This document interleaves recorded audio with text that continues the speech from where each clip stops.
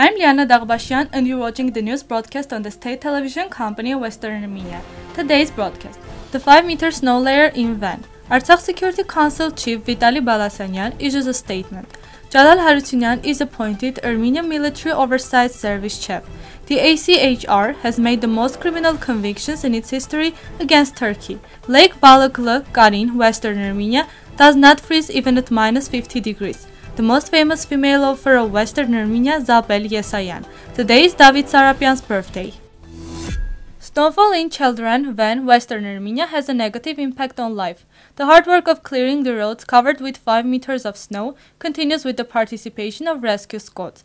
Efforts to open roads in villages and in the highlands continue. The height of snow reaches from 4 to 5 meters in high places. The only purpose is to eliminate the problem of obstruction of the movement of the inhabitants here and to ensure their connection with the province. Secretary of the Artsakh Security Council Vitali Balasanyan has issued a statement. The announcement particularly says, Reports are circulating that an Azerbaijani flag will be placed on state buildings in Stepanakert Renaissance Square. I consider it necessary to categorically deny this. There are reports being disseminated in some media and social media that the Artsakh Defense Army will be disbanded, and according to the logic of those reports, there will be no organization to protect the borders of Artsakh.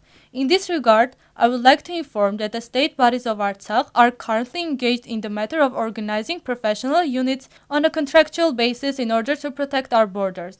There are fears in some circles of the society that, for example, the Kyrgyzstan, Ajapnyak districts of Stepanakert or the village of Ivanyan of Askeran will soon be populated by Azerbaijani families. There are also rumors being circulated that Azerbaijanis are shopping, especially in the shopping outlets of Stepanakert.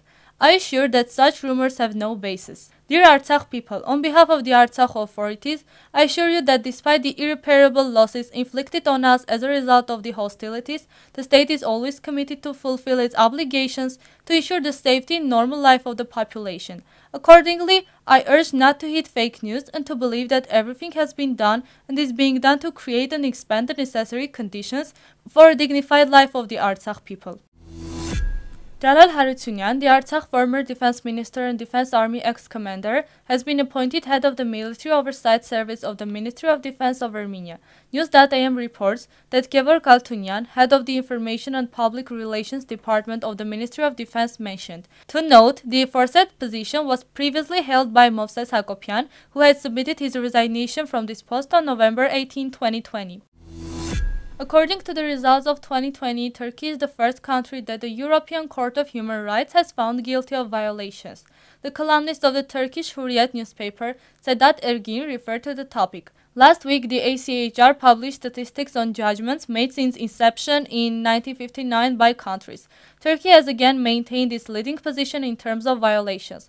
Moreover, if we take into account that Turkey allowed individual applications in 1987, then these violations took part in only 34 years, the author writes. According to the published data, the ECHR handed down verdicts a total of 3,742 against Turkey in from 1987 to 2020, of which 3,309 were accused of violating at least a right.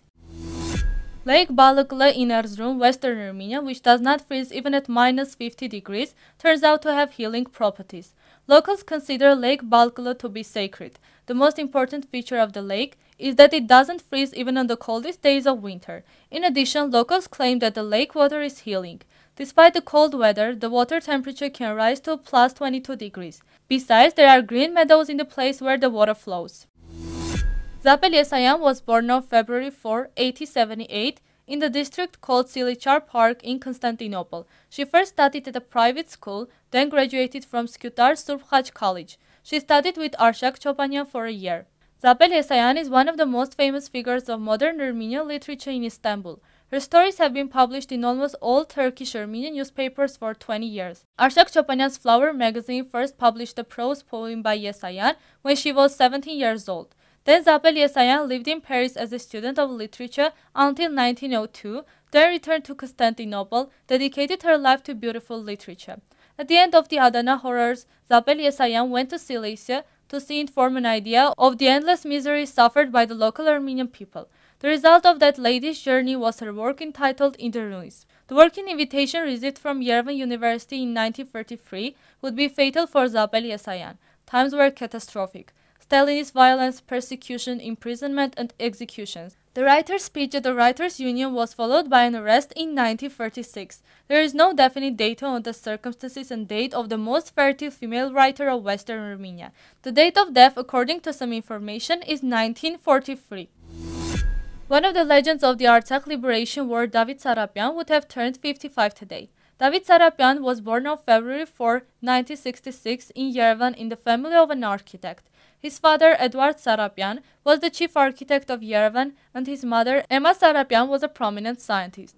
He left for the Soviet Army in May 1984. In October 1985, he was sentenced to four years in prison for interethnic conflict. He did not return to the institute after being released from the prison. He was involved in cinema, working with Gennady Melkumyan as an assistant director. In 1990, he left for the front and joined the ranks Independence Army of Commander Leonid Azgaldyan. Later, in the Great Tigran Militia Regiment, he took part in the self-defense battles of Buzlukh, Manashir, Karachinar, Sarisu, Erkech villages of Shahumyan region. The Armenian warrior force was spreading terror on the enemy. It is not a coincidence that the Azeris called him Aheg Dev. He took part in the liberation of the village of Togh in the Hadrut region on October 13, 1991, under the command of General Arkady Ter Tadevosyan. Returning home, David tells his mother, Your native village is liberated. Now I have to liberate my father's hometown, Erzurum. It was the last meeting of the mother and son. Dev was killed on December 10, 1991, in a battle for the village of Todan in the Shahumyan region. He is buried in the Yerablur Pantheon in Yerevan. By the decree of the President of the Republic of Armenia, David Sarapyan was awarded the Order of Courage in 1996. Now we present you song Grungna Medierkir by students of Armenia Hunanyan.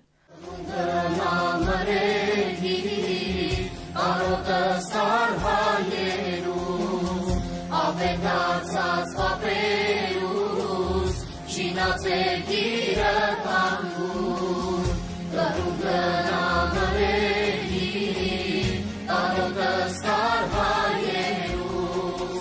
ավետարցած ապերուս, շինացեք իրականություն, ու թեմացի լայնացած,